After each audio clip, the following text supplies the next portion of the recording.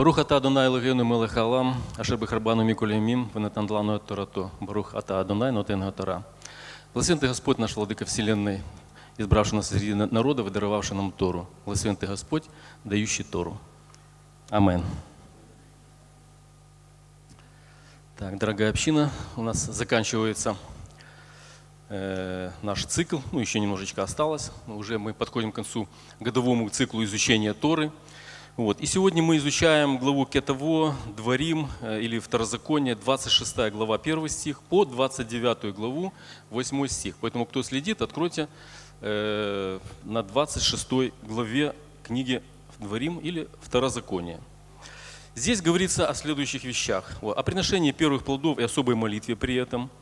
Э, еще раз о приношении десятин. Говорится о том, что когда Израиль перейдет Иордан, закон должен быть написан на камнях и должно быть торжественно произношено благословение и проклятие на исполняющих или нарушающих закон. Вы помните, на двух горах, да? Вот. И знаменитая 28 глава благословений и проклятий. И давайте, я, ну, сегодня буду говорить о нескольких вещах, если мне удастся, о трех. Значит, первое. Значит, начнем с 26 главы. «Когда придешь ты в землю, которую Господь Бог твой дает тебе в удел, и владеешь ею, и поселишься в ней, то возьми, то возьми начатка всех плодов земли, которые ты получишь от земли своей, которую Господь Бог твой дает тебе, и положи в корзину, и пойди на то место, которое Господь Бог твой изберет, чтобы пребывать там имени Его». Э, то есть здесь говорится о э, празднике начатков плодов, о том, что э, у каждого, каждый израильтянин, у которого был, был участок земли, значит, он должен был пометить первый плод, созревший в своем там саду, вот, и потом, соответственно, в определенное время сорвать его, значит, ну, присоединить еще другие первые плоды и пойти значит, к месту поклонения и это приношение, оно отличалось тем, что каждый израильтянин должен был э, высказать, сказать определенную молитву. И здесь, я ее просто не буду за неимением времени читать, но здесь суть ее в том, что в этой молитве очень коротко говорилось о всей истории э, Израиля, о том, как Бог э, создал себе народ, как Он вывел его из Египта, мышцы крепко привел в эту землю, даровал эту землю. И вот теперь, значит, в знак благодарности – значит, и в знак признания того, что Господь это все, это все от Господа, значит, э, он приходит и приносит, и приносит этот э, дар. Ну, я хочу сказать, первое, что мне хочется сказать о первенцах. Значит, э, дело в том, что вы обратите, обратили внимание, что первенцам и в Израиле, ну и Бог, он вообще-то уделяли особое внимание. Потому что первенцы, первенцы это были как начаток силы и как бы залог всего последующего. Запомни, да, что это залог всего последующего. Вот. И в исходе 4.22 э, Бог говорит э, фараону, отпусти первенца моего Израиля, потому что если сына моего, потому что если ты не отпустишь, то твой первенец погибнет. Вот. Ну, фараон, э, как, как говорится, он ну, не послушал Господа. Вот. И э, Ешо, наш Мессия, значит, э, значит, он тоже назван и первородным, и он назван первенцем из мертвых, как э, то, что и мы знаем, то, что первое, оно является залогом э, последующего. И Новый Завет, значит, Брит Хадаша говорит о том, что все последователи Ишо, я из трех мест собрал, здесь, значит, имея начаток Духа, достигнут церкви первенцев, чтобы стать некоторым начатком его создания. То есть все мы, Господь тоже нас рассматривает как, э, как начаток свой, как первенцев. Да? Вот. И как-то размышляя над этим, я подумал, вот было бы классно, если бы весь наш народ, э, я имею в виду население нашей Украины, да, чтобы мы тот, были именно такие, чтобы мы могли, у нас был такой праздник, да, чтобы вот мы могли прийти э, и сказать, Боже, Ты, это, это все Ты. Вот. И как-то ты стал размышлять и подумал, э, Господи, а у нас же это, сегодня же 24 число, да?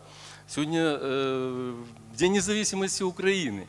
Вот. А это фактически то что, что было тогда. Это фактически это был, ну такой, знаете, прообраз э, Дня независимости. То есть израильтяне говорили, Боже, Ты сделал нас э, независимыми. Я хочу сказать, что это относится и к Украине, друзья.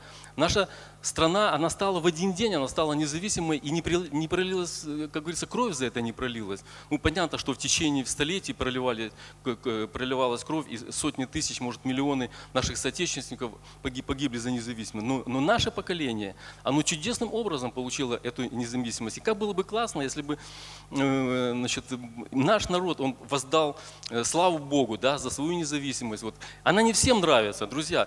Ну, я, я знаю реально, что не всем в Украине нравится независимость, но мне лично нравится. Я верю, что и вам нравится, потому что когда страна независима, мы э, всю ответственность мы берем на себя. Мы не скажем, что какие-то римляне там, или филистимляне да, нам пришли здесь, навязали, нас сделали, поэтому мы не виноваты. Вот. Нет, это, это наша страна, это наша земля. Понимаете, то, что происходит, это, это, это все наше. Вот. И я как бы в рассуждении пошел э, как бы дальше. Вот. Э, и как бы ну, стал смотреть э, как бы ну, вообще вообще именно как бы на нашу страну да вот именно с точки зрения вот ну ну, не самые мы богатые, может быть, не самые мы там успешные, мы знаем там в рейтингах мы не самые, да, но думаю, а что дальше вот для моей страны, да, Господь уготовил, да, вот, и э, вы знаете, вот, как, какая аналогия у меня э, как бы внутри, внутри родилась, то есть, если э, церковь это первенцы, да, вот, то если чем больше будет этих первенцев, вот, то тем успешнее будет страна в Боге, тем больше у нее будущего, вот, и рассуждая об этом, я вдруг вспомнил, что э, Украина, друзья, Украина это одна из самых религиозных религиозных, ну в хорошем смысле этого слова, стран. Вот, то есть именно стран, где э, а, а, в мире, не просто в Европе где а в мире даже. Друзья, в то время как Европа, она продает свои храмы, закрывается общины и так далее, в Украине постоянно растет, растут количество общин. Ну, они не все, э, естественно, христианские, вот, но большая часть, подавляющая часть, они христианские. И я так, увидел такие цифры. В 2000 году у нас было 23 тысячи общин э, в Украине. Э, через 10 лет уже было 33 тысячи, сейчас 35 тысяч. Вот. И я хочу, чтобы вы поняли, что это такое. Э, сравним с Россией, страной, которая в три раза больше нас. У них 23 тысячи общин. Понимаете? То есть в стране, где у нас 46 миллионов, там 140 миллионов, и у нас 35 тысяч, 23. Я не, не в плане уничижения какого-то, я просто к тому, что Украина это народ богоискателей, понимаете? Это, это народ, я верю, это народ, который имеет будущее. И мы знаем, э, какое, э, ну, какие времена идут на землю. Да? И я верю, понимаете, что для Бога будет важно не то, сколько мы имеем, какие у нас там домы, какие счета у нас в банках. Для Бога важно, как мы ищем Его. Потому что именно тот народ, который ищет Бога, у него есть будущность и надежда. И кто согласен со мной, скажет аминь. Слава Богу. Так, значит, вторая вещь, о которой, о которой я хотел сказать, это десятина. Я как-то внутренне, э, как когда-то э, ну, как-то думал, понимаете, вот по, по этим вопросам, и я понял, ну, мы на бизнес-общениях, мы сейчас обсуждаем эти, в том числе материальные вопросы, вот, и я понимаю, что, э, как бы понял тогда, что народ Божий, он многое теряет из-за того, что он не послушен Богу в этих вопросах. И как-то я сказал себе, что обязательно, если буду встречать тему десятин, я буду об этом говорить, ну, как я ее понимаю, как мне открыто. Вот, и сегодня, значит, тоже есть упоминание, вот, когда, это 26 глава, 12 стих, когда ты отделишь все десятины произведений земли твоей в третий, э, в третий год, год десятин, и отдашь левиту, пришельцу, сироте и вдове, чтобы они ели в жилищах твоих и насыщались, тогда скажи перед Господом. Ну и дальше сказано, что скажи, то есть скажи, что, э, Господи, значит, вот я все сделал, как ты велел, вот я пришел, и презри святого жилища твоего с небес, и благослови народ твой Израиля из землю, которую, которую ты дал нам. Вопрос десятин, он периодически возникает в жизни э, христианина, потому что, ну, ну вроде бы это понятие завета, да, ну, имеется в виду Синайского э, закона, то есть, да, то есть, ну, о чем говорится в современной церкви? То есть это же это ж не закон, и это действительно, друзья, я реально вам говорю, что понятие десятин это не закон, это, это, это было понятие э, Синайского, э, Синайского завета, это было понятие закона. Вот. Но тем не менее, что это? Вот. Ну смотрите, Галатам 3.23. Что был для нас закон? Закон был нас девотоводителем ко Христу, дабы нам оправдаться верою. То есть закон, он как бы водил израильский народ, да, он вел его и показывал ему, что ему необходимо делать. Вот, значит, э, правильно делать, чтобы быть, быть в благословении. Вот. И э, Бог определил израильскому народу, чтобы он заботился о месте поклонения, о священниках, о левитах и о так называемых, ну, современным языком, социально незащищенных слоях, вдовах, сиротах, нищих и, и, и так далее. И Бог на это определил три вида десятин. И то, что, говорит, то, что мы сегодня прочитали, это третий вид десятин. Ну, было так называемая э, левитская десятина, была иерусалимская, на которую евреи приходили вместе с левитами, левитами живущими приходили значит, э, в Иерусалим. Значит, и э, вот этот массер они, то есть э, десятина, десятина для бедных. Вот. И при том такой очень интересный момент, не то что интересный, важный момент, а многие об этом знают, десятина давалась не левитам, друзья, десятина давалась Богу. А Бог определял отдать тому, кому полагалось. Поэтому в расчетах, в вопросах материальных, друзья, это все наши отношения с Богом. Это не отношения с общиной, это не отношения где-то что-то, понимаете? Это отношения с Богом. Все что, все, что мы отделяем для Бога, оно принадлежит не просто общине, оно принадлежит Богу. Мы должны этот момент учесть. Вот, но получали их люди. Вот. Интересно, что это, наверное, единственный вид, или там один из немногих, за который, э, законов, который э, как бы наказание не полагалось. Хочешь давай, не хочешь, не хочешь, не давай. Никто там особенно не будет э, значит, это, смотреть там тебя, считать и, и так далее. Но смотрите, что говорилось. Второзаконие, 14 глава, это тоже из Дворим, да? «По прошествии же трех лет отделяй все десятины произведения твоих тот год, и клади сие в жилищах твоих. И пусть придет левит, э, ибо ему нет части удела с тобой, и пришелец, и сирота, и вдова, которые находятся в жилищах твоих. Пусть едят и насыщаются». Вот, теперь внимание – дабы благословил тебя Господь, Бог твой, во всяком деле рук твоих, которые ты будешь делать. Замечаем, да, прямую связь, что мы отделяем, то есть то, что Бог говорит, мы делаем, есть, есть благословение. И то, что мы читали сегодня, тоже человек э, приходил и говорит, Господи, ну теперь благослови, пожалуйста, говорится, а то я все сделал, благослови меня. Вот. И теперь про сегодняшний день.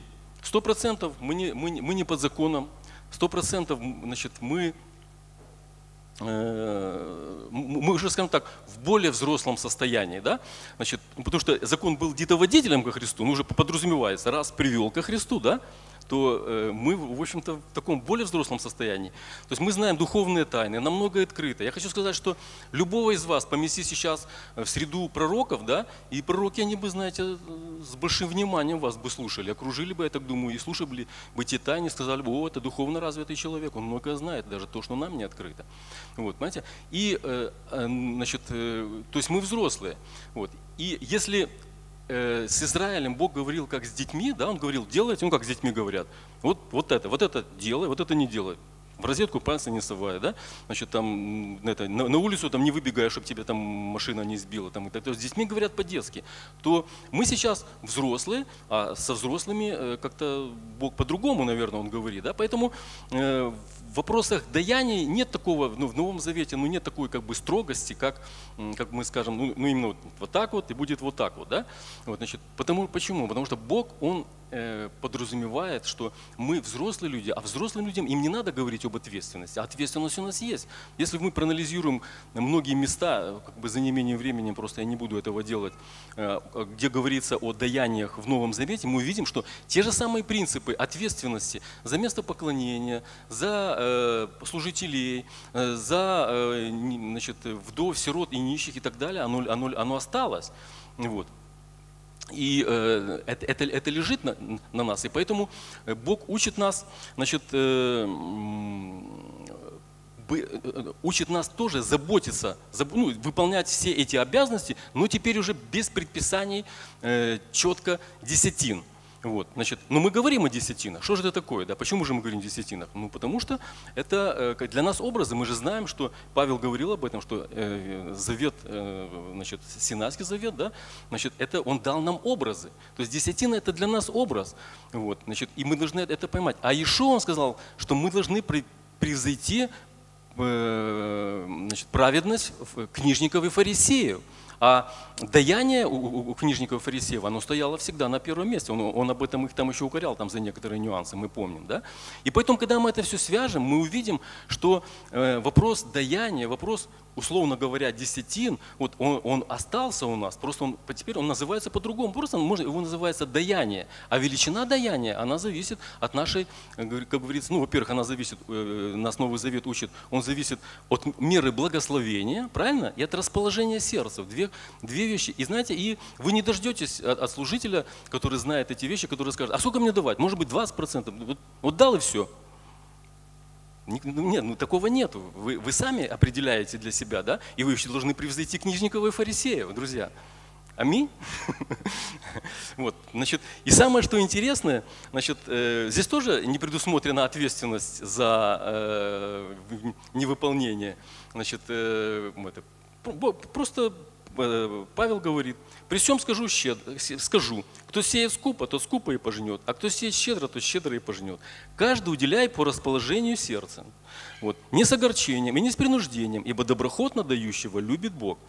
Бог же силен обогатить вас каждой благодать, всякую благодатью, чтобы вы всегда и во всем, имея всякое довольствие, были богаты на всякое доброе дело. Вот меня Тут, аминь, аминь. да.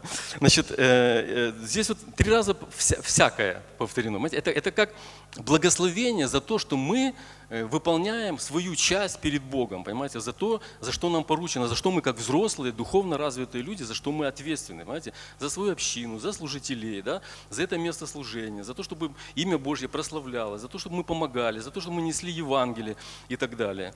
Вот. И, и написано, что если мы будем это делать, то Бог, опять же, если мы будем это все делать, значит, потому что есть условия, кто сеет, тот получает, кто сеет, тот получает. Если мы будем делать, то у Бога достаточно благодати на всякое. То есть здесь Бог не говорит, если ты мне принесешь тысячу, я тебе дам три, десять, тридцать, сто.